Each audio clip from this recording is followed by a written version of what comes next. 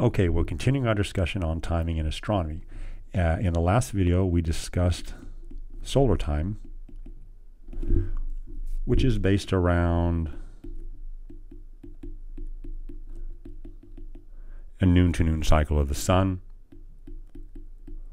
This is what like what we like to call 24 hours or one day. And so in this video, I want to tell you about another way of doing timing in astronomy, and it works like this. Okay, so suppose then we'll have the Earth sort of doing its usual thing right here. And once again, we'll get you standing on the Earth here, sort of a little green person standing on the Earth here. Okay, there we go. And what we'll do now is instead of using the sun for timing, let's see if it's possible to use a star for timing. Okay, so you know the stars are up there, and there's certainly some markers and signposts in the sky, just like the sun is. And say there's a star right there. Okay, and remember the stars are very, very, very far away. We don't see any of their actual motion or anything like that. And so, what would the timing issues be with a star like this? Well, I'll show you the first way, which isn't right, and then we'll get it corrected and we'll go from there. Okay, so the usual thing is going to happen as the star is sitting there, of course. Uh, there's the little gray person here, which is going to rotate around, and all the usual things happen, just like we did with the solar timing. Eventually, the gray person ends up right back here again, right where the green person was that started it. Okay. And so you look at this scenario and go, well, this doesn't really seem that interesting at the moment because what happened, of course, is in one scenario here, light from the star comes all the way down and hits the person in the eye. Then they rotate all the way around again, looks like maybe 24 hours because that's the rotation of the Earth.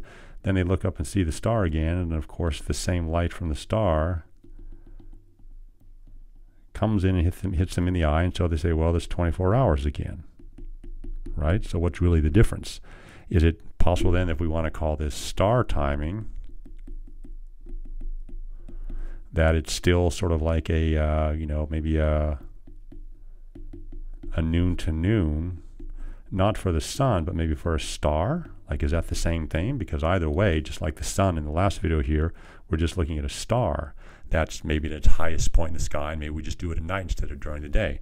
And it turns out that, well, not so fast. Okay, we can't quite call this star timing based on this geometry that we just looked at. So not so fast on the star timing. is not really a noon to noon thing. So let's take a look what happens because what we're forgetting in here or doing sort of on purpose for the sake of this illustration is in this diagram here and even the one that I did in the last video for the solar, what about the Earth's orbit? What about its orbital motion, right?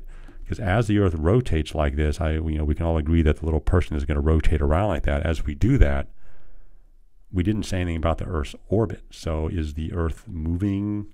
You know, does the Earth moving in its orbit have anything to do with it?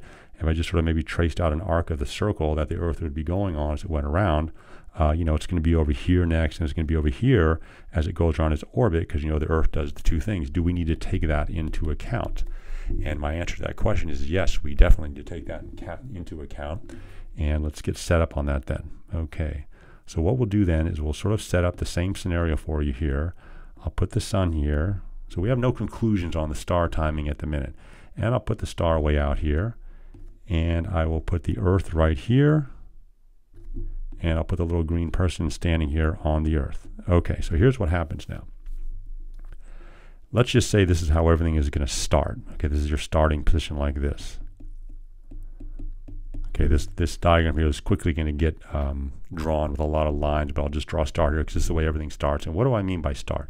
I mean by start, it's like 12 noon for you, and at this time of 12 noon, you look straight up and see the sun, and say you had some uh, magic goggles or some sort of uh, interesting telescope that even in addition to getting blasted by light from the sun during the day, somehow you could also get a view of this star right here. There's any one you can choose from like that.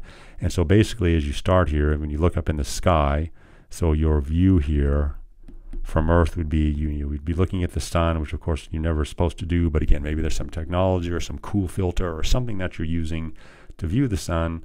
And also at the same time, you see that star up there. Okay, that's sort of what your view would be in your eye. And That's sort of the way we're going to start. Okay.